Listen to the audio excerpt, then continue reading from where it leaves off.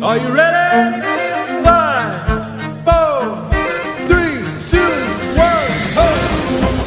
On a fondé ce groupe, ça fait un an, ça fait une année déjà.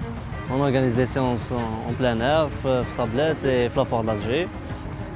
Voilà, c'est un groupe euh, très intéressant, il y a de tout âge, des jeunes, des moins jeunes. Quand on a commencé, on a commencé euh, avec un, peu de monde, donc c'est plus intéressant, il y a beaucoup de monde, il y a de la motivation.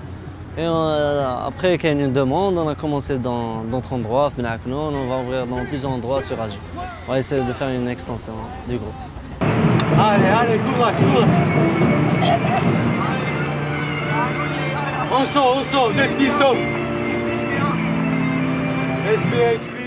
J'invite toutes les femmes à venir faire du sport, euh, du moment que c'est, ça coïncide le, le- le mois d'octobre qui est euh, l'octobre rose.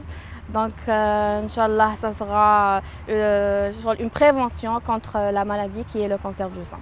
آه، جيت هنا هكايا ندير فوتينغ تاعي كيما كل جمعه حتى لقيت الجروب هذا لقيت فيه دي جان لقيت فيه دي فامي دي فام دي زوم دي بتي زونفون سما اسبري دو فامي حاضرة هنايا. افيك لو ريسبي كاين ان بو دو ميوزيك اللي تعاوننا في في, في موتيفاسيون تاع سبور تاعنا. مع لي كوتش تاعنا الله يبارك سليم وأكرم ويوسف يعني ما, ما شاء الله.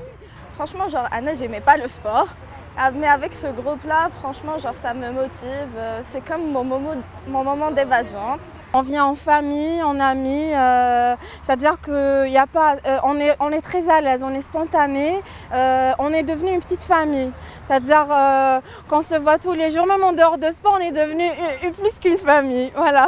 Je suis régulier sur 100% des séances et euh, surtout les séances euh, individuelles euh, de la foire aussi sont très intenses et donc ça permet une montée, une montée de niveau, pas dire forcément perte de poids, mais en tout cas reprise de physique et puis surtout de l'endurance pour le cœur.